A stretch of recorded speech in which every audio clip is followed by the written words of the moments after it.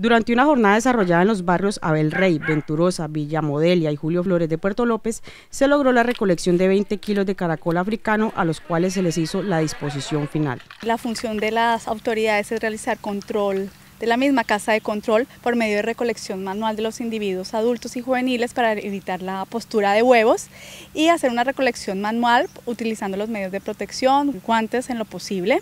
Después hace la disposición final a través de enterramiento eh, se encala, se hace una fosa, se hace el encalamiento de la misma, se introducen los, los caracoles únicamente, los caracoles no se introducen bolsas, no se introducen guantes,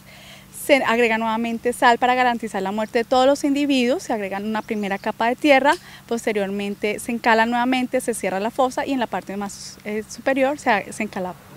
de nuevo. Esta importante labor que se viene desarrollando en diferentes municipios del Meta no habría sido posible sin la participación de diferentes entes que trabajan por la preservación de los ecosistemas en el departamento. En colaboración con la Policía Nacional, el Policía Ambiental,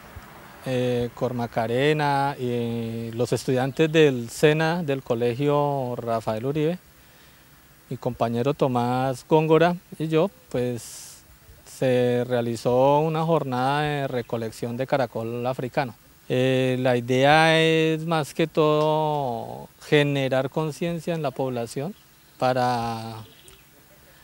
para evitar la propagación de este, de este animalito. Para realizar esta actividad en el municipio de Puerto López, las instituciones involucradas realizaron diferentes reuniones en las que llegaron a acuerdos y asumieron compromisos, lo que permitió el desarrollo de una exitosa jornada. Días previos se realizó reunión en el Colegio Rafael Uribe Uribe, aproximadamente con 28 muchachos estudiantes de allí, eh, con el señor Juan Carlos, inspector de Sanidad aquí en Puerto López,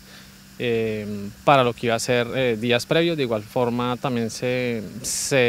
llegó a los, a los barrios donde se iba a hacer esta recolección eh, con el ánimo de, sensibilizar a las personas y que estuvieran presas al día que se iba a realizar el evento. La invitación es para que sean los mismos ciudadanos los que continúen haciendo la recolección de caracol africano, aplicando la técnica de enterramiento y así evitar que esta especie se propague.